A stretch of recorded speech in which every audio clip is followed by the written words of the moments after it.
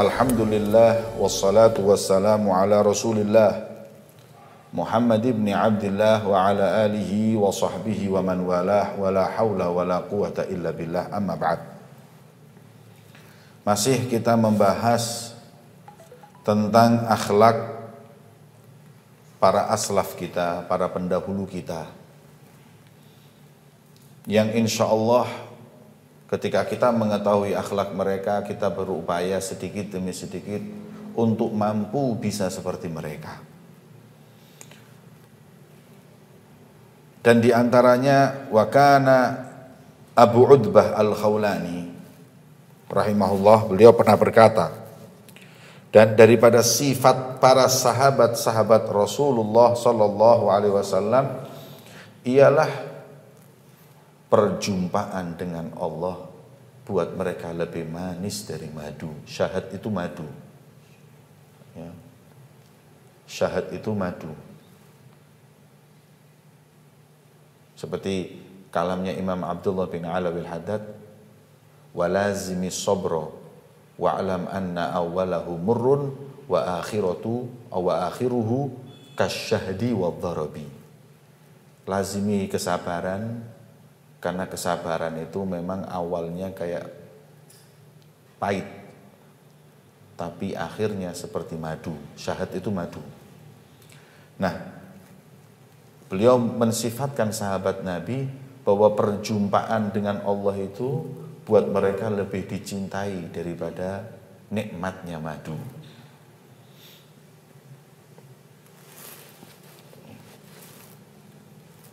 Dan mereka nggak pernah khawatir atas kekurangan dalam kehidupan mereka di dunia. Karena mereka orang-orang yang percaya dengan rizkinya Allah. Ya. Makanya dari sifatnya aulia la khaufun alaihim wa lahum yahzanun. Mereka nggak kenal rasa takut dan nggak sedih. La khauf karena mereka wathiqin. Mereka ini yakin dengan ketentuannya Allah Subhanahu wa taala. Itu sifat para sahabat Nabi.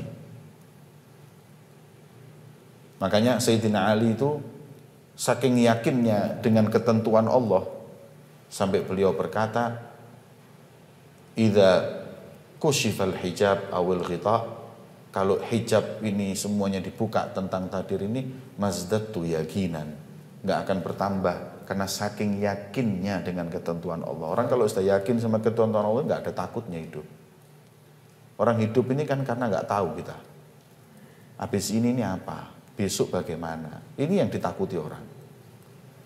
Tapi kalau orang itu yakin bahwa tidak ada yang akan dia hadapi kecuali semuanya ketentuan Allah, apa yang membuat mereka harus takut?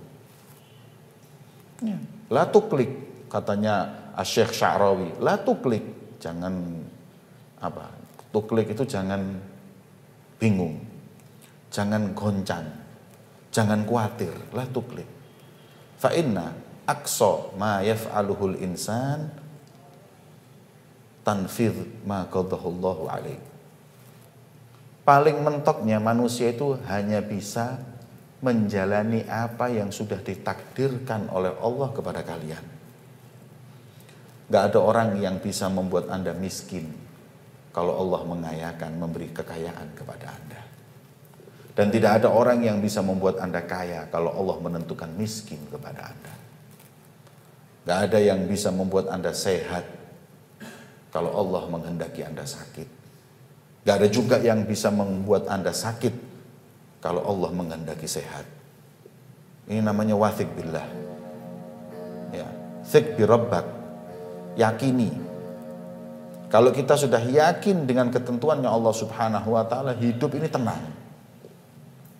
Karena kita nggak yakin dengan takdir, kita nggak yakin dengan kodoknya Allah, itulah yang membuat kita takut, takut nggak dapat rezeki, takut nggak dihargai orang, takut sakit, takut mati, takut nggak dapat jodoh. Ini semuanya takut, takut, takut ini karena kita nggak yakin dengan ketentuannya Allah Subhanahu Wa Taala. Sedangkan mereka para sahabat sifatnya kematian buat mereka lebih mereka ingini, lebih mereka rindukan daripada madu dan rezeki buat mereka tidak pernah senang, tidak pernah dipikir karena yakin dengan ketentuan Allah. Apa kata Imam Abdullah bin Alwi Haddad? Walladhi li ghairik la yasil ilaik. Walladhi kusimlak hasilun ladaik. Kalau itu sudah memang jatahnya orang lain, nggak akan pernah sampai ke tangan Anda. Apa pun yang Anda lakukan. Walladhi kusimlak, tapi kalau jatahnya Anda, bukan jatah orang lain, Allah tentukan itu punyamu, hasilun ladaik, Mau nggak mau akan nyampe ke tanganmu. Syi'ta am abain. Kamu mau, kamu nggak mau, kamu iya, kamu tidak, enggan atau enggak, akan nyampe rizki itu di tanganmu. Nah, ini namanya tiga kepercayaan kita kepada ketentuan Allah Subhanahu wa taala. Ini yang kita ini lemah. Makanya kita ini pusing mikir rezeki, pusing mikir gimana nanti gini gimana. Ya, ada membuat kita takut. Ya, maka itu khalas. Tawakal Allah. Ya, kembalikan semua kepada Allah. Wa kanu yuhibbunal mauta akthar mimma yuhibbu ahadukum Dan sahabat Nabi itu mereka menginginkan, mencintai kematian lebih daripada kalian mencintai kesehatan. Kita ini kan kepingin sehat. Sampai pagi minum madu supaya nggak sakit, minum obat, vitamin, makanan yang kelihatannya membuat kita sakit kita tinggalkan. Kita haris alal hayat. Kita haris ala sehat. Kita berupaya hidup ini supaya sehat. Begitu yang ada di tengah-tengah kita. Tapi para sahabat ini mereka yang diinginkan adalah kematian. Ya, kematian. Sebagaimana saya ceritakan kemarin, ketika sahabat datang kepada Rasulullah karena dapat jatah rampasan perang ghanimah, ya, minggu lalu saya sampaikan. Kemudian beliau mengatakan, "Ya Rasulullah, bukan untuk ini aku perang, tapi untuk tombak yang dilempar ke sini dan keluar tembus sampai sini. Kemudian katanya Rasulullah in sodak hadha rajul Allah yuhaqqiq. Kalau benar ini orang, Allah akan membuktikan pada orang tersebut. Kalau omongannya benar. Maka peperangan terjadi, Rasulullah tanya, Aina fulan? Yang kemarin ngomong itu mana? Ustushid ya Rasulullah, mati syahid. Di mana? Itu jenazahnya. Aku mau lihat. Ketika dilihat Rasulullah, pas di tangan yang dia tempelkan mengatakan aku ingin tombak nyampe di sini tembus ini di situlah tombak itu masuk dan sampai tembus katanya Rasulullah lakot sodak hadha sahabi lakot sodak hadha rojul ini orang benar. Jadi mereka ini suka kematian seperti itu. Ya. karena ba'du sahabat makanya kita ini kalau lihat sahabat ini bingung hadirin. Nanti akan saya sampaikan kalamnya Imam Hasan al-Basri. Dalam satu pertempuran sahabat ini yang dipimpin oleh Sayyidina Khalid bin Walid waktu itu dengan beberapa sahabat lain ingin perang dengan orang Romawi. Ketika dalam peperangan salah perhitungan, bukan salah perhitungan, salah kabar. Katanya mereka itu jumlahnya cuma sekitar 20 ribu, maka sahabat cukup dengan 10 ribu. Ya, orang, orang muslim dulu itu gitu hadirin kalau perang. Mereka berapa 20 ribu, 10 ribu cukup. Kalau kita kan ndak ape tawuran lah gak. Ono piro rek? Arek ancor piro arek comborane. Jodipan piro? Uang telung puluh, seket. Letek. Kalau sahabat berapa sih itu? 10 ribu, 20 ribu. Kita 10 ribu cukup. Ya. Akhirnya ya sudah 10 ribu aja. Sampai di sana mereka berapa? 200 ribu. 200 ribu hadirin. Satu banding berapa itu?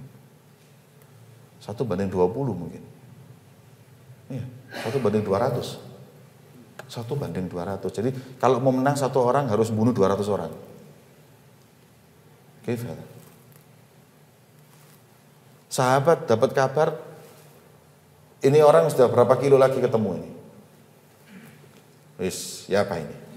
Rapat ini sahabat. Rapat sahabat. Ini apa ini? kita salah kabar. Katanya 20 ribu, nggak taunya 200 ribu. Terus gimana ini? Maju apa mundur? Ayo musyawarah. Ya, musyawarah. Yang satu bilang mundur. Maju bunuh diri. Ya. Latulku bi ahdikum ila. Kalian lemparkan diri kalian dalam kebinasaan. Masuk situ mati sudah. Ya. Satu lagi enggak. Kita tahan sambil meminta bantuan. Tahan sambil minta bantuan. Kalau kita mundur, aib. Umat Islam mundur dari orang kafir, aib. Mana pernah kita umat Islam mundur dari orang kafir? Enggak.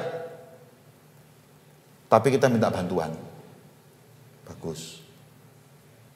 Yang terakhir kata Khalid. Ada pendapat lain? Saya. Apa pendapatmu?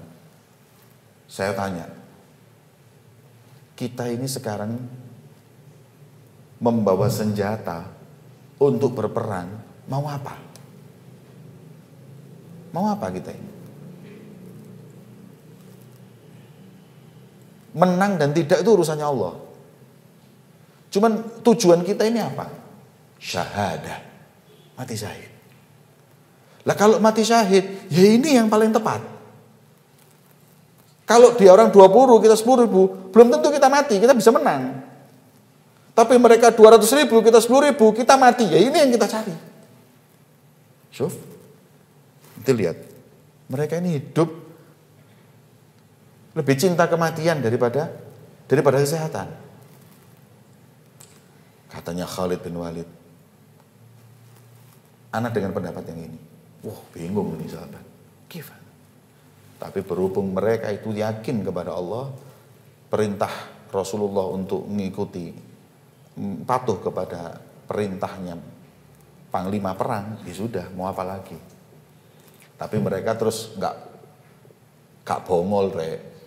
Terus moro berangkat, ayo wis enggak. Strategi diatur sama Khalid bin Walid. Gimana caranya? Gini.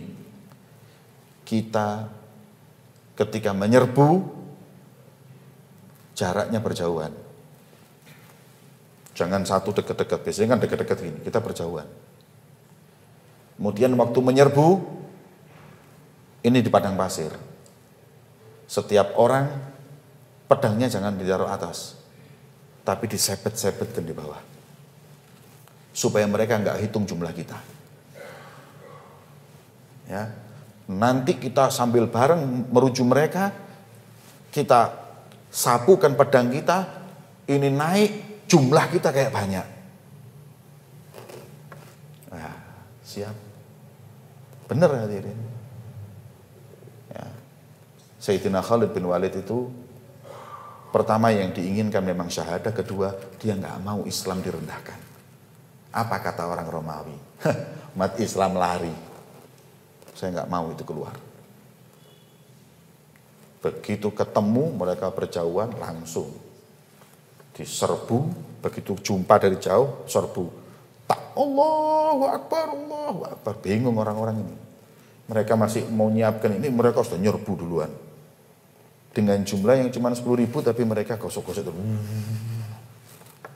Subhanallah, ro'ub fi takut hati mereka.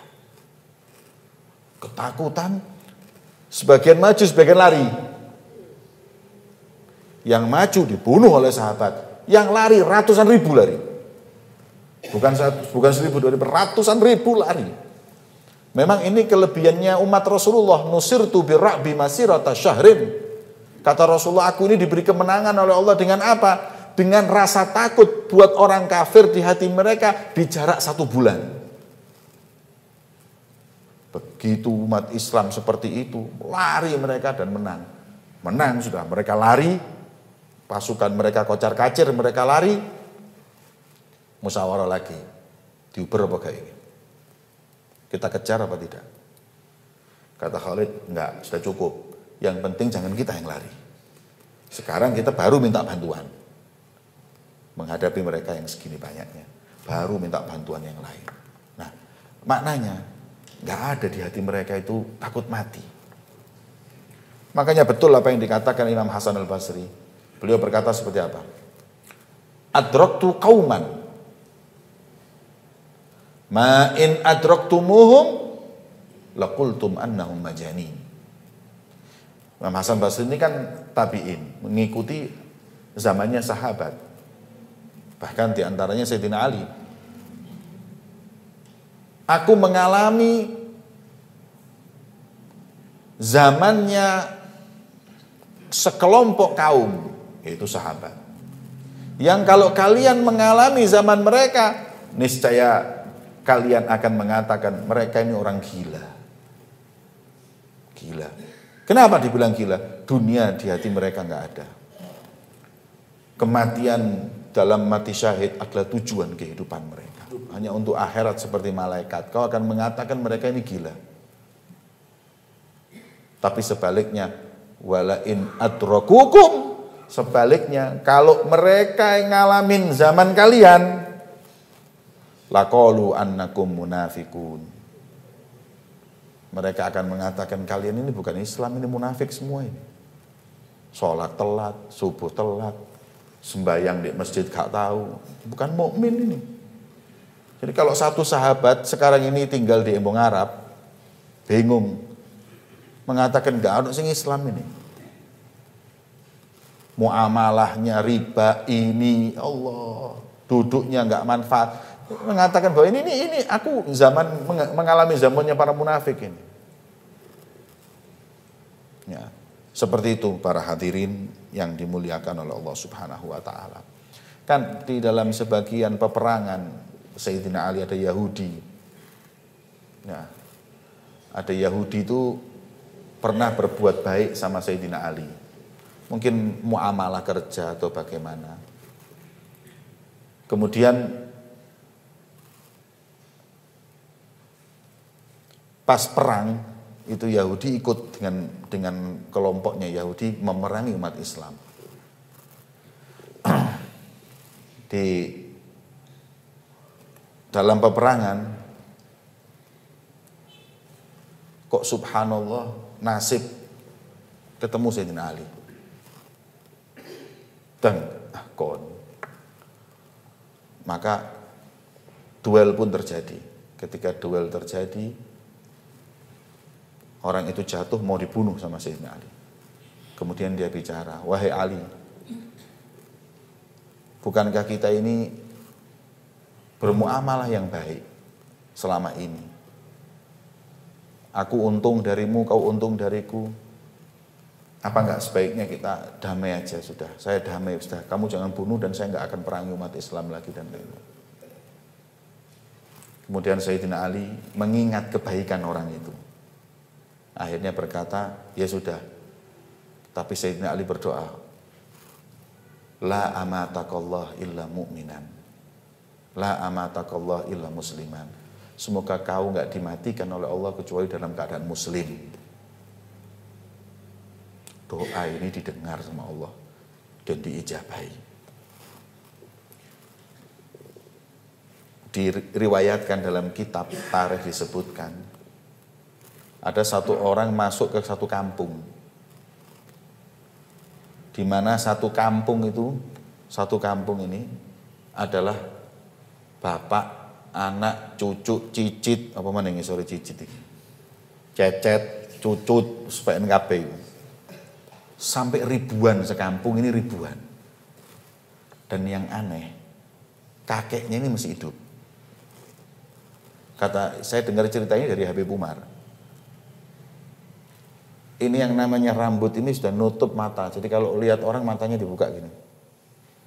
Kulitnya juga sudah nutup semuanya. Jadi kalau mau lihat orang dibuka gini. Sampai di zamannya cucunya Sayyidina Ali yang keberapa? Cucunya Rasulullah yang keberapa? Mungkin tujuh apa? Hidupnya orang ini 500 tahun. Kemudian berjumpa dengan cucu Sayyidina Ali dan dia buka matanya, bilang, dilihat, ini siapa? Kalau anak Fulan bin Fulan, inti min duriyat Ali, iya.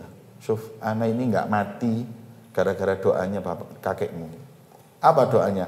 jangan Ya Allah, jangan kau matikan orang ini dalam keadaan muslim. Saya yakin doanya Ali bin Abi Thalib itu diterima sama Allah. Makanya saya sampai detik ini nggak mau masuk Islam. Kalau saya masuk Islam, saya mati. Sudah 400 sampai 500 tahun umurnya. Berapa turunan? Tujuh turunan. Sak kampung ini anak cucunya semua. Akhirnya dia berkata, tapi saat ini aku lihat engkau sebagai cucunya Ali bin Abi Thalib, maka aku ikrarkan keislamanku. Begitu mengacapkan dua kalimat syahadat, besoknya meninggal. Ada doanya syuhada ini memang makbul. Seperti Sayyidina Husain. Sayyidina Husain waktu di Karbala, ada orang mau bunuh Kemudian Sayyidina Husain bilang, Syuf, anak bawa anak kecil. Ini anak kecil ini kehausan. Itu bunuh anak nggak apa-apa, tapi anak kecil ini tolong kasih air. Bolimnya orang ini. Nggak air malah yang dikasih, tombak ditancapkan ke dada bayi tersebut. Sayyidina Husain marah. Langsung berkata, La azma'akallah. Ya, la la la la arwakallah la arwakallah yakni semoga Allah tidak mengenyangkanmu dari air ya. maka orang tersebut diriwayatkan setelah didoakan Sayyidina Husain dia setelah perang haus minum air sampai beberapa gelas hausnya nggak hilang Diminum terus sampai terakhir pecah perutnya. Maka mati di orang. Ya. Maka itu kita kembali kepada pembahasan yaitu bagaimana para sahabi dahulu mereka mencintai kematian. Wakana Abdullah bin Mubarak, beliau berkata Abdullah bin Mubarak, Aku pernah suatu kali berkata kepada Imam Sahal Tasturi rahimahullah, "Atuhib ya Sahal, maukah kau wahai Sahal antamu tagadan untuk kau mati besok?" Ya. Wahai Sahal Tasturi, mau enggak kau kalau besok mati? Seneng enggak kau kalau besok itu mati? Jawaban beliau, "La, enggak. Walakin as-sa'ah." Besok tidak mau, sekarang saya mau. Ya. Memang para sahabat itu amalannya sudah mentok hadirin. Sebagai kapasitas manusia, dia ini sudah mentok. Makanya kalau sahabat itu, mereka dikasih tahu, ente besok mati, amalannya nggak nambah. Jadi kalau dikabari, anak dapat kabar bocoran dari malaikat, ente tanggal sekian, jam sekian mati. Niscaya amalan para sahabat itu kalau dikasih tahu nggak nggak nambah. Karena sudah mentok. Beda sama kita. Kalau kita dikasih tahu malaikat datang bisi kita ente minggu depan mati. Tak jamin nggak metu ke masjid kan ibadah terus sampai kuru. Kurang seminggu tobat semuanya. Ya kita seperti itu. Tapi kalau para sahabat mereka subhanallah siap untuk mati kapan saja karena baik dan solehnya amalnya. Imam Sofyan Al-Thawri rahimahullah taala beliau berkata, Lagat adraknan nas, aku ngalami zaman. Wahum yakhafuna minal amrad wal balaya, di mana mereka itu takut penyakit dan bala. Khaufan ala anfusihim an yaqa'u fi karahiyat qadaillah. Mereka takut sakit dan takut kena takut ditimpa bala bukan karena sakitnya dan balaknya, tapi mereka takut pada diri mereka kalau terjerumus kepada benci dengan kodoknya Allah. Ya.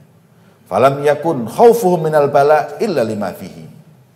Jadi mereka itu kalau takut sakit, takut kena balak, takut kena musibah, itu bukan musibahnya dan balaknya dan sakitnya yang mereka takuti tapi nanti kalau sakit terus dia itu dalam hatinya ada perasaan benci dengan ketentuan Allah, nggak seneng dengan itu yang mereka takutkan. Ya. Wallahi Ma adri madza yaqa minni law ubtulitu fala ali akfur wala ash'ur. Kemudian beliau berkata, demi Allah, aku nggak tahu apa yang terjadi padaku kalau aku ditimpa satu musibah. Bisa jadi aku kufur atas nikmat Allah dan aku nggak menyangka. Anak khawatir kufur nikmat Allah. Kita dikasih kenikmatan banyak, dikasih musibah sakit sedikit sudah kayak seakan-akan kita nggak pernah dapat kenikmatan dari Allah. Rabi'ah al-Adawiyah ini kalau orang sakit didoakan sembuh. Rabi'ah anak sakit dikasih air sembuh. Rabi'ah nah, sembuh, didoakan sembuh. Suatu kali Rabi'ah ini sakit. Kata murid-murid beliau, wahai Rabi'ah, orang kau bacain sembuh. Kenapa kau nggak minta sama Allah untuk diberi kesembuhan? Jawabannya istahya itu min Rabbi. Aku malu sama Allah.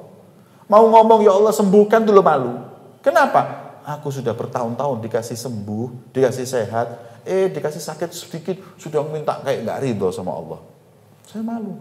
Saya terima kalau ini sakit, saya berobat, tapi kalau ini sakit saya terima. Karena sudah lama saya diberi kesehatan sama Allah. Kita juga gitu, dikasih rezeki lancar. Bertahun-tahun rezeki kita ini lancar. Satu kali kita diberi musibah sedikit sudah kayak orang putus asa dari Allah. Kamu nggak ingat dikasih makan sampai usiamu 40 50 tahun sama Allah. Diuji nggak bisa makan sedikit aja sudah kita seakan-akan kufur atas kenikmatan Allah Subhanahu wa taala. Waqad balagani anna Luqman al-Hakim alaihi salam qala li ibnihi ya bunayya sebagaimana sampai kepadaku kabar bahwa Luqman al-Hakim alaihi salam berkata kepada anaknya Luqman al-Hakim ini ilmunya adalah hikmahnya yang selalu dikatakan kepada anaknya. Eh anakku, ini hamal tu sohra wal hadid.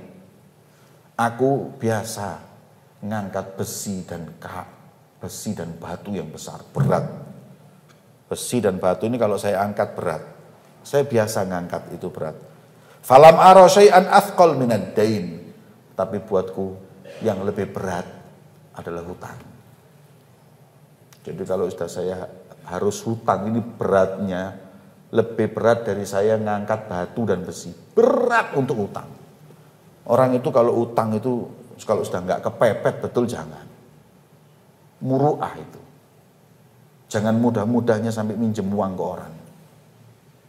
Makanya beliau berkata, aku ngangkat besi kuat, aku ngangkat batu kuat. Tapi terus terang aku merasa berat kalau sudah hutang. Kalau utang kepikiran, gimana untuk membayarnya. Walaupun kadang orangnya nggak nagih tapi beban. Ini orang punya muruah, orang punya harga diri. Tapi kalau orang nggak punya harga diri, seneng utang. Utang sana, utang sini. Wah kadang-kadang punya uang nggak mau bayar. Ya. Padahal Rasulullah mengatakan matlul ghani zulmun. Menunda-nunda bayar utang sedangkan dia mampu adalah perbuatan yang dolim. Itu namanya mumatil. Ini kalau kita sampai minta orang minjem uang utang itu, minjem orang itu uang, itu sudah berat itu. Wa akal tu tayyibat. Wahai anakku, aku makan makanan enak mana pun sudah pernah. Ya, aku makan sego kebuli ya tahu, nasi mandi ya pernah nasi goreng istimewa juga iya, rawon iya. Kon kok terus bayang no ke rawon kebuli. Ya. Luwe aku nih. Ya. Aku pernah makanan enak semua aku pernah makan. Wa dan aku juga pernah menikah dengan wanita wanita yang cantik. Ini nikmat. Aku punya istri cantik, makanan enak. Tapi falam ara aladza minal afiyah. Tapi belum pernah aku merasa nikmat seperti ketika diberi afiah dari Allah. Afiah itu adalah dijauhkan dari musibah dan balak. Karena musibah dan balak tadi itu buat orang benci dengan ketentuan Allah. Buat orang berat atas takdirnya Allah. Itu yang jadi masalah. Bukan sakitnya, tapi beratnya ini, kan sudah ketentuan. Mestinya harus diterima, tapi dia nggak terima apa oh Gusti Allah kok kayak gini ya tirat Allah naudzubillah ya. aku merasakan kenikmatan semua makanan perempuan tapi tidak ada kenikmatan seperti kita diberi afiah afiah itu bukan sehat ya, ya afiah itu kita dah jauh dari balak makanya setelah sehat wal afiah sehat yaitu kesehatan badan kalau afiah dari dari balak makanya Allahumma afi mubtalana. Ya Allah berikan afiat dari orang yang kena bala. Bala itu kan tidak semuanya sakit. Anda ditipu orang itu bala. Kalau inti minta afiat berarti kita jauh dari itu.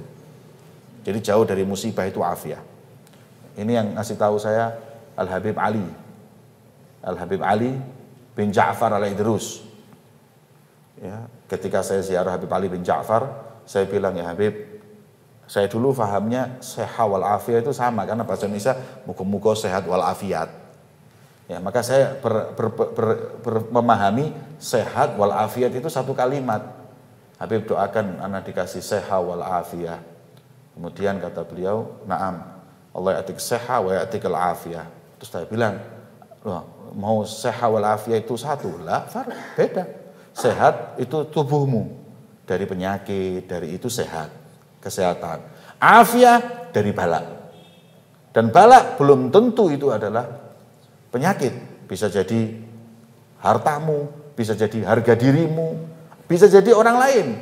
Istrimu sakit, itu berarti ente mubtala. Mubtala itu kena balak, kena musibah dari sakitnya anak, dari ini semuanya. Kemudian wazuktul mararat anak juga merasakan hidup ini kepedihan. Pahitnya hidup ini sudah pernah aku jalani. Nih, pahitnya hidup pernah aku jalani. Macam-macam. Mulai dari dikhianati orang. Ya, kan pahitnya hidup itu kan dikhianati orang. Ya, kon jaluk anaknya tonggomu gak dikekno, lah pahit itu. Ya. Macam-macam. Ya, macam-macam kepahitan hidup yang sudah aku alami.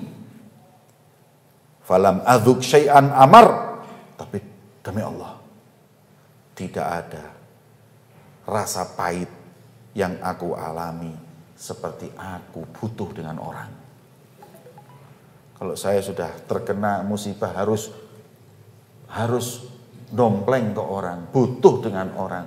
Ini adalah hal pahit dalam kehidupanku. Jadi nggak ada paling enak seperti istighna wa anin nas. Istighna anin nas ini kan doa kita. Istighna itu adalah kita diberi sama Allah hati yang nggak butuh manusia. Jadi kita ngomong enak, bicara enak.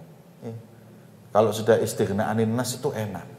Tapi kalau sudah kita dibantu orang, kita itu tergantung dengan orang, al-hajah itu, ilan nas ini.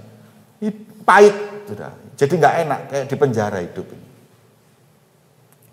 Nggak enak.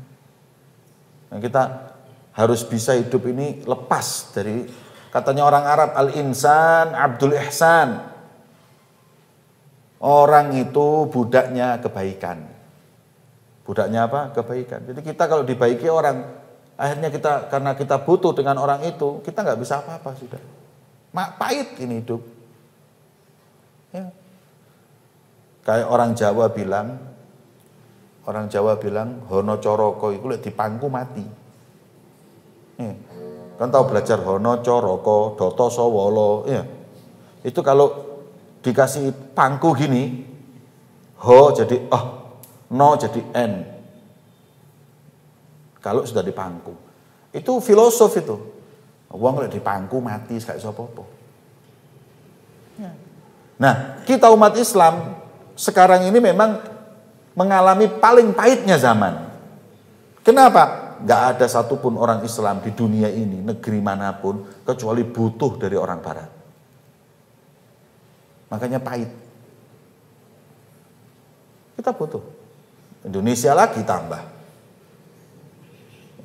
Lah kalau sudah butuh sama mereka istri sudah nggak bisa apa-apa. Mau ngomong nggak berani, mau ini nggak berani, nggak bisa berbuat sudah. Ya, katanya Syekh Sya'rawi, Mutawali Sya'rawi, beliau punya satu kata-kata yang indah sekali. Ketika satu orang ditanya, wahai Syekh Sya'rawi, kenapa umat Islam saat ini kok tidak bisa mengatakan yang hak 100%? selalu ada maslahat dan takut dengan barat. Takut Amerika, takut Inggris, takut blok barat, takut blok timur, takut. Jawaban Syekh Sya'rawi itu sedikit tapi mengena. Apa kata beliau? Ya waladi, man lam yakul min fa'suh, lam yakul min ra'suh. Ada kata logat Mesir sedikit. Man lam yakul min fa'suh lam yakul min ra'suh. Ini bahasa Jawa ini ngene. Sopo sing gak mangan teko ari dhewe. Gak iso ngomong saenake. Siapa yang tidak makan dari tangannya sendiri, mandiri, cari makannya, nggak bisa bicara seenaknya dari kepalanya itu. Jadi selama kita masih tergantung dengan orang lain, kita nggak bisa bebas berbicara. Maknanya umat Islam harus ini sekarang Habaib, Habib Abu Mar, Habib Abu Bakar Masyur, hampir semua Habaib sekarang ini punya program. Apa programnya? iktifa'u dhati. Mandiri. Umat Islam harus mandiri. Dakwah mandiri. Pondok mandiri. Semuanya mandiri. Itu namanya iktifa' dhati. Sebab kalau sudah mandiri, kita bisa bicara seenaknya. Organisasi umat Islam harus mandiri. Kalau nggak mandiri, ngomong ini nggak enak. Karena ini adalah yang ngasih dana. Ngomong yang itu, nanti dananya nggak turun. Ngomong gitu, hati-hati. Nanti kalau menang di pemilu yang akan datang, nanti dia nggak proposal nggak tembus ini. Pikirannya, lam yastaghni anin nas. Pahit ini. Maka itu kita diajarkan iktifak dhati. Jadi kita sama sekali nggak butuh dengan orang mana pun, orang kaya yang butuh dengan kita. Orang yang punya uang yang butuh dengan kita. Kita nggak butuh. Walaupun umpama nggak ada bantuan kita tetap jalan. Itu namanya iktifak zati. Mandiri. Negeri ini juga harus mandiri. Nggak butuh dengan negeri yang lain.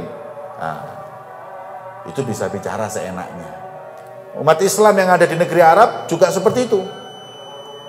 Kalau mereka bisa mandiri, nggak butuh orang-orang luar ya mereka bisa bisa rasa enaknya. Sekarang nggak bisa.